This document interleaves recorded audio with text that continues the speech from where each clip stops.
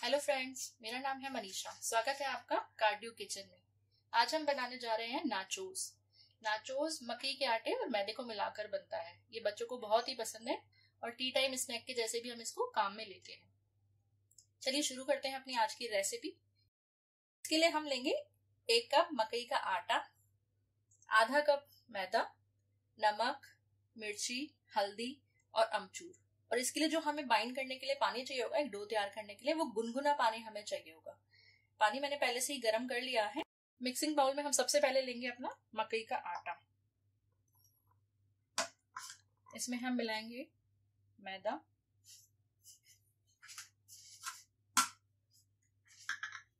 थोड़ा सा डालेंगे हम स्वादानुसार नमक। मिर्ची ज़्यादा नहीं डालेंगे, मिर्ची थोड़ी सी डलती है। ये भी टेस्ट के अकॉर्डिंग ही आप डालिए। हल्दी एक पिंच सिर्फ़ कलर के लिए हम डालेंगे। अमचूर थोड़ा सा खटाई के लिए चाहिए होता है टेस्ट में इससे बहुत ही अच्छे होते हैं होते हैं ये टेस्ट इससे। अब इसको हम, ये हल्का गुनगुना पानी मैंने लिया है। अब इससे इसको हम अच्छे से पहले मिक्स करेंगे, फिर इसको हम बाइंड करके डो तैयार करेंगे। इसमें हम गुनगुना पानी ही लेंगे, क्योंकि मकई का आटा जो होता है, वो पानी बहुत लेता है। थोड़ा थोड़ा करके पानी डालना है हमें, एक साथ सारा नहीं डालेंगे।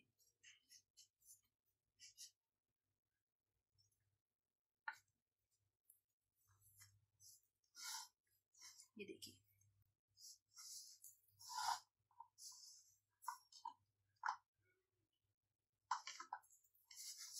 इस पूरे उसको डो को तैयार करने में लगभग एक कप के जितना ही पानी लगता है। इससे ज़्यादा पानी इसमें लगेगा नहीं।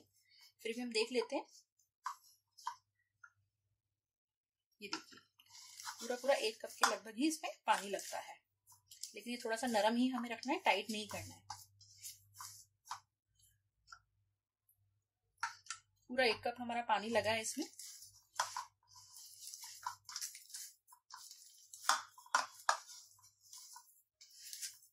बस इसको इस तरह से रख के इसको हम 20-25 मिनट के लिए रेस्ट करने के लिए छोड़ेंगे, क्योंकि ये पानी अब्जॉर्ब करेगा, उसके बाद ही एक अच्छा डो हमें मिलेगा। ये देखिए।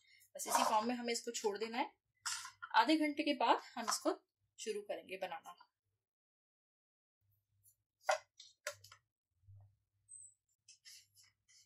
आधा घंटा हो गया है। अब हम अपना डो चेक कर लेते हैं। देखिए, थोड़ा सख्त हो गया अच्छे से।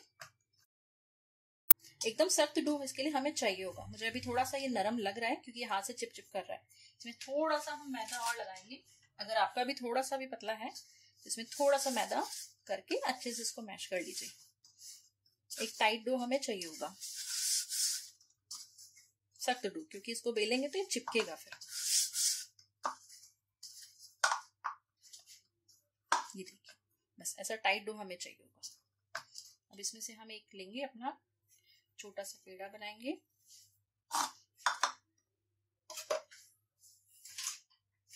थोड़ा सा डस्ट करेंगे इसको और बेलन से अच्छे से बेलेंगे।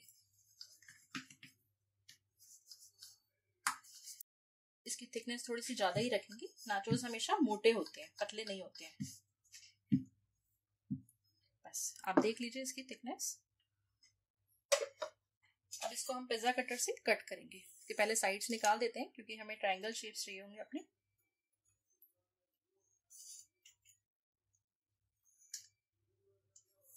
ये देखिए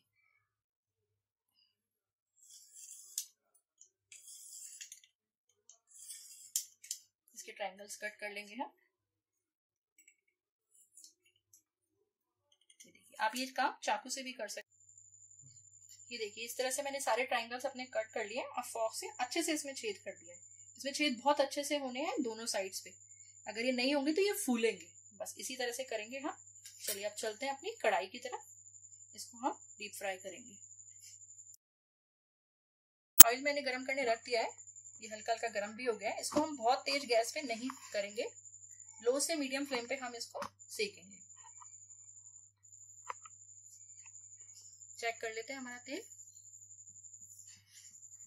देखिए, गरम हो गया है ये तेल। थोड़ा थोड़ा एकदम डालते ही ऊपर आने लगा है। बस बहुत ज़्यादा गैस पे हमें इसको नहीं करना है। लो से मीडियम पे हम इसको तलेंगे। एक एक करके बस इसी तरह अपने सारे डालेंगे हम।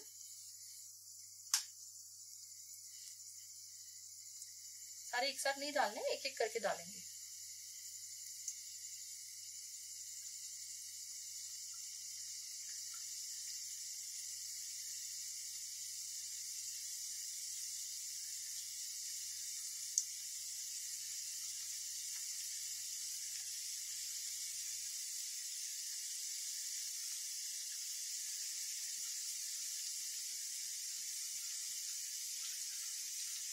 एक बार में उतने ही डालेंगे जितने कढ़ाई में आ सकते हैं। बहुत ज़्यादा एक साथ नहीं डालने हमें।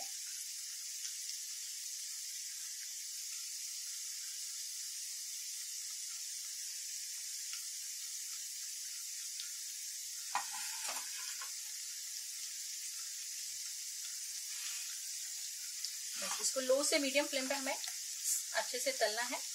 थोड़ी थोड़ी देर में इसको हम टर्न करेंगे। एकदम क्रिस्प और गोल्डन हो जाएँगे। अगर हम इसको तेज आग पे सीखेंगे तो ये कच्चे रह जाएँगे सॉफ्ट बनेंगे, ये टाइट नहीं बनेंगे। क्रिस्प नहीं आएगा इसमें। इसलिए कोशिश करिए इसको कम गैस इसी तरह से इसको एक से डेढ़ मिनट लगेगा और ये फटाफट से सारे तल के तैयार हो जाएँगे।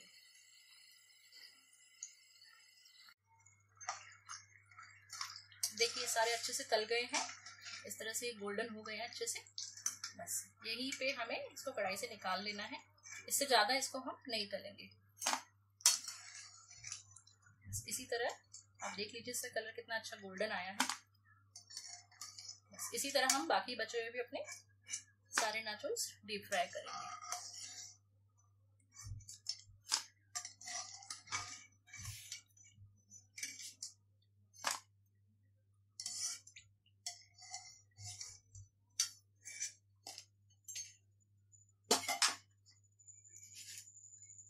बाकी भी मैं इसी तरह लो फ्लेम पे अपने सारे तल लूँगी।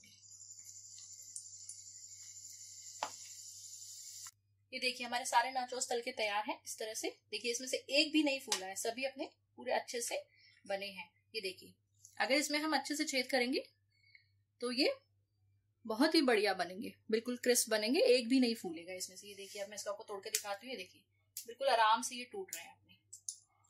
इसमें से आपको आवाज़ आ ही रही है, बहुत अच्छी। ये पूरे हमारे बनके तैयार हैं। आप हमारी रेसिपी ज़रूर ट्राई करिए। अगर आपको हमारी रेसिपी पसंद आए तो वीडियो को लाइक कमेंट और शेयर करें। और चैनल को सब्सक्राइब कर, पास वाले बेल आइकन को दबाकर ऑल क्लिक करें। Thank you